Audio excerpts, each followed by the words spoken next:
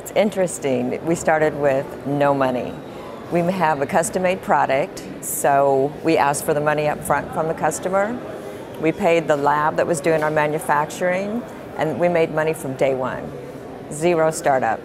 Actually, I didn't have any money. Um, I was teaching high school English. My husband was about to student teach for high school math. So we started doing this as a side job to actually raise money. So we started freelance writing and editing, um, solving math problems in textbooks.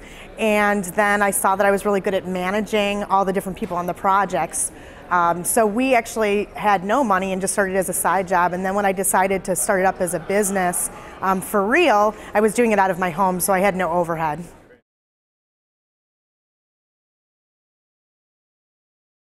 Uh, my biggest challenge starting up was figuring out what exact business line to get into.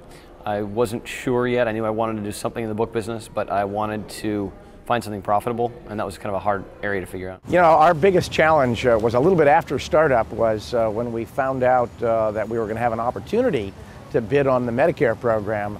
Uh, the next day, I woke up and realized I had about 60 days to raise as much as $400 million in, in capital, and I was only a $200 million company.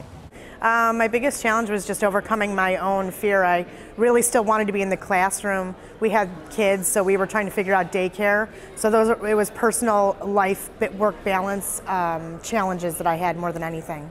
When we decided to do all of our own manufacturing, that was the biggest challenge we ever faced was starting a custom monitor lab from scratch. We had no idea what we were doing.